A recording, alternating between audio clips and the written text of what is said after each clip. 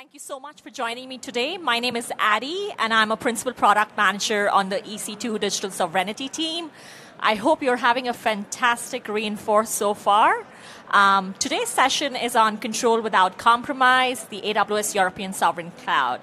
So let's go ahead and get started. Um, before we dive into what European Sovereign Cloud is, I want to talk, take a few minutes to unpack what digital sovereignty means, right? Um, and what we've learned in speaking with our customers, regulators, and partners is that there is no single definition of this term, right? It means different things to different people. Um, every country, every region has their own requirement. Um, and the, the the strange thing about this is that uh, you know given the current scenario and and what's happening around the world, um, it has prompted governments to really go back and rethink how they want to control their data, their critical infrastructure, and basically their digital economy, right? Um, the challenge has been that uh, the, the definition is pretty fragmented as well, right? It's not uniform across industry sectors, verticals, or even the type of workloads. So uh, there have been attempts, however, uh, for example, there's a European cybersecurity scheme in Europe, uh, which is an attempt to harmonize the cybersecurity standards across the EU, uh, which is still in the works, right? Um, but I like to think of it as, um, you know, having control, control over your data, control over your digital assets.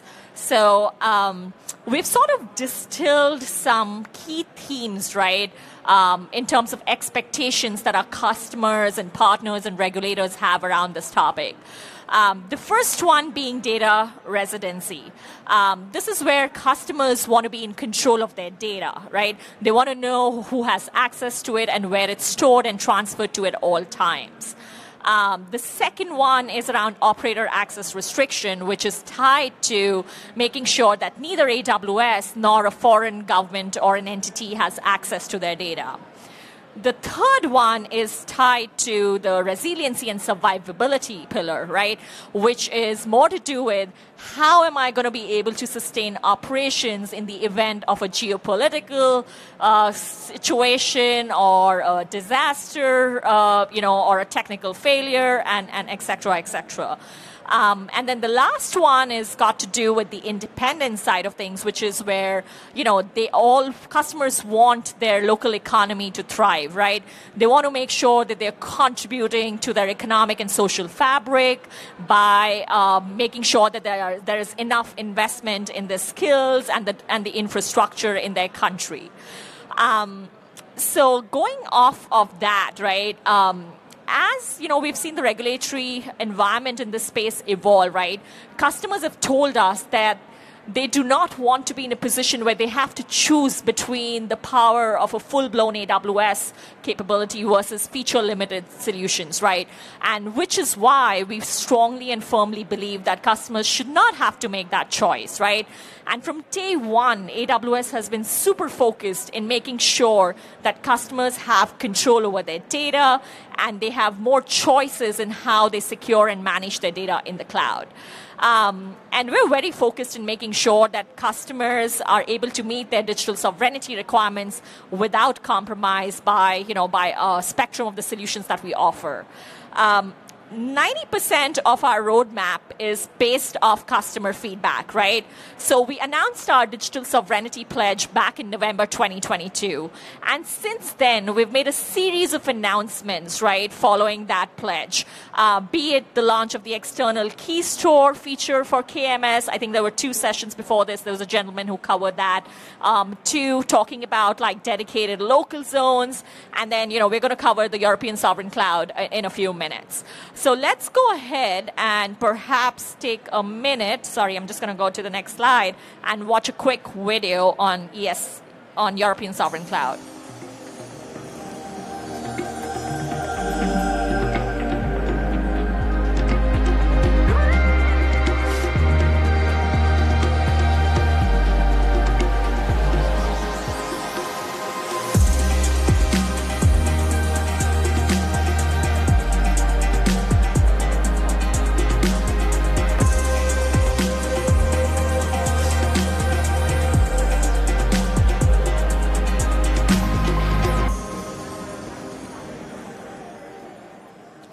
Right, so now I'm going to dive deep into some of these um, aspects of the European Sovereign Cloud, why we're building it, and what it is, right? So let's move on. Um, AWS European Sovereign Cloud is a net new infrastructure offering, right? It is a net new independent infrastructure offering, which is different from our existing eight commercial regions in Europe.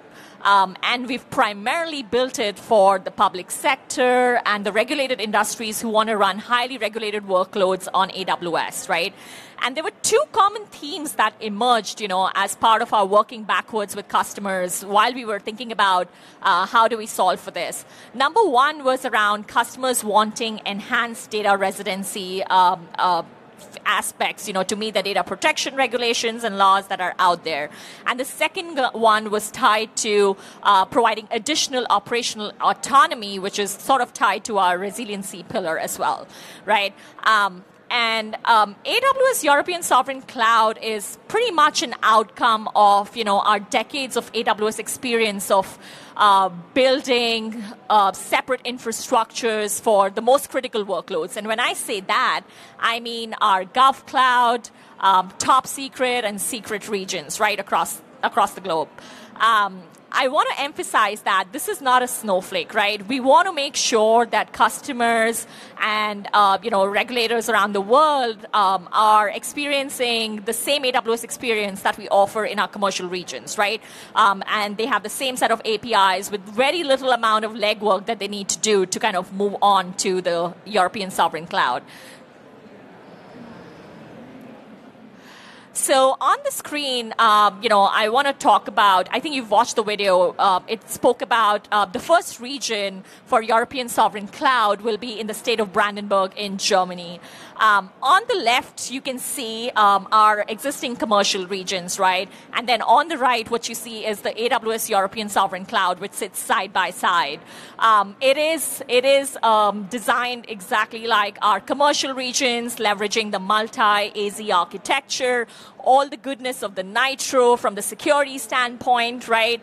And um, and if you look into the diagram right on the screen, you can see that um, European Sovereign Cloud will have its own IAM, which is Identity and Access Management stack, as well as a usage and billing stack, right? So what that essentially means is that you will have to sign up with a new account in order to access this European Sovereign Cloud, right? Um, and, and you will receive a separate bill for the same. I'm now going to talk you through with some of the attributes of the AWS European Sovereign Cloud, right? So starting with infrastructure. Um, I think most of you will already know, right? AWS delivers the highest level of availability and resiliency compared to any other cloud service provider. And since day one, we've been very deliberate in uh, making that choice of making sure that all of our regions are designed to be multi AZ.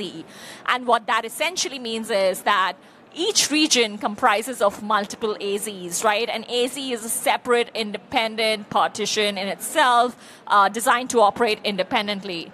And if you tend to zoom into what an AZ is, it consists of multiple data centers, right, which are again separate facilities with their own redundant power and networking, etc. Um, when we decided to build AWS European Sovereign Cloud, we've ensured that we are leveraging this architectural excellence that we have, um, you know, implemented around the globe uh, to deliver European Sovereign Cloud. the another um, you know characteristic of the European sovereign cloud, which is tied to the enhanced data residency aspect.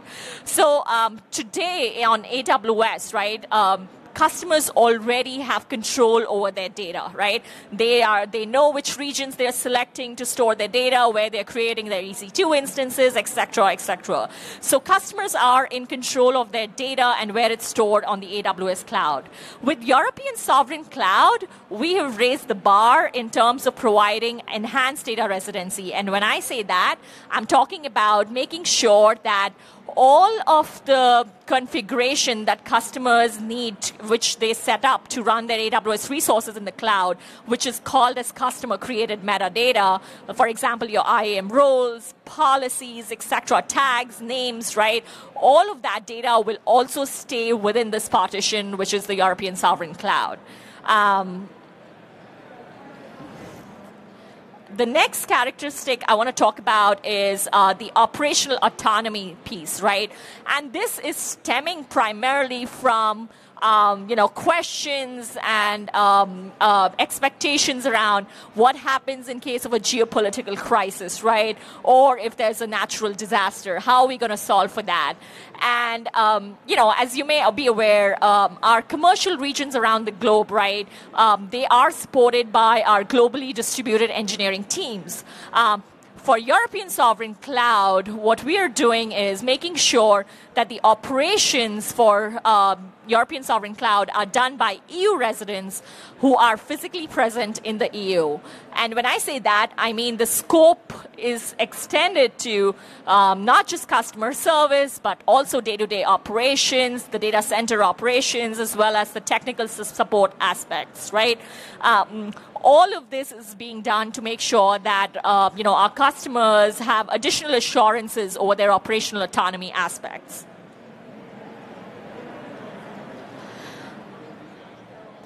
Um, so what you can see here is a wide spectrum, right? Um, given that every customer has a different use case around their sovereignty requirements, right? AWS provides a wide continuum of solutions to meet these varied expectations. So we spoke a little bit about AWS regions. We spoke about European Sovereign Cloud. There's also the AWS local zones, which is pretty much bringing infrastructure to your facility, right? And then there's AWS wavelength tied to the 5G networks, followed by dedicated local zones, Internet of Things, and Snow Family, right? Um, the idea here is that the legwork involved, right, uh, for the customer should be as minimal as possible in order to uh, meet their respective use case around sovereignty. And um, they can choose across these varied offerings, right, um, to, to accelerate their journey to the cloud. Uh, now, mind you, it doesn't have to be one or the other. It could be a combination, right? And I can, I'll tell you how. Um, so this slide talks about the dedicated local zones and outposts, right? Dedicated local zones are for customers who have sensitive data and applications um, which need to run on physically separate infrastructure right? Which is housed within uh, a choice like within a facility where of their choice. And uh, with european sovereign cloud now as you saw in the spectrum before um, there is the ability to parent these local zones and dedicated local zones and outposts um, to the European sovereign cloud in order to offer more in country residency aspects, right? Um, so the continuum, like I said before, is not just either or, but it could be a combination that could be used together. Um, while we've been working with customers on, you know, trying to design and deliver European sovereign cloud, we've been also deeply and very closely collaborating with regulators, policymakers, and cybersecurity agencies to inform our roadmap and design for European sovereign cloud, right? Because it's really important for us to get the buy-in and support um, um, as we go ahead and deliver this in the future. Uh, for example, we've been working very closely with the Germany's Federal Office for Information Security, which is also referred as, to as BSI. Uh, I don't know if many of you know or not, but, but C5 has been uh, pulled together by BSI, right? And it is a highly respected standard across the industry and also across various geographies such as the APJ, etc. Um, um, AWS was one of the first um, uh, cloud service provider to be C5 certified, and BSI is just one example, right? We're really looking forward to collaborating with them to inform our roadmap and and the design decisions as we get ready to deliver the European sovereign cloud. Um, um, and like I said before, it's not just BSI. We've been working with other regulators and other policymakers uh, to make some of these decisions and, and how we go about it. Um, I do not want to forget talking about partners because they're a big, big they have they're big they play a big role in um, the partner ecosystem with us. Um, and there are several ways in which partners can help us uh, with European sovereign cloud right? Um, be it building sovereign solutions on the European sovereign cloud or helping customers navigate right on the type of workloads and doing migration workload assessments etc so um, I would really recommend like you work closely with your partners right as a customer to uh, figure out what digital sovereignty competencies they have going going on for them um, and, and, and work your way with AWS on that. Um, as you saw in the video, um, right, um, European Sovereign Cloud is, is a full featured cloud, right? Um, it is set to be launching at the end of 2025. Um, I will say that it is backed up by a 7.8 billion euro investment in terms of infrastructure, jobs creation, and skills development, right? And, and it builds on our long term uh, commitment uh, to Europe and the ongoing support uh, to the region's sovereignty needs. So I will end this presentation uh, to say that you know you do not have to wait for the European sovereign cloud to get started, right? Um, we strongly believe that um, customers get the best um, head start to uh, get on the cloud by starting early. So you can already move on to our Europe, our, our commercial regions in Europe to you know play around in the build and test environments and, and see how you can leverage the power of cl- uh, the cloud for your customers, right? And I think my my recommendation here is to start by really speaking with an AWS team member to understand your use case. What are some of your next steps to get on the cloud?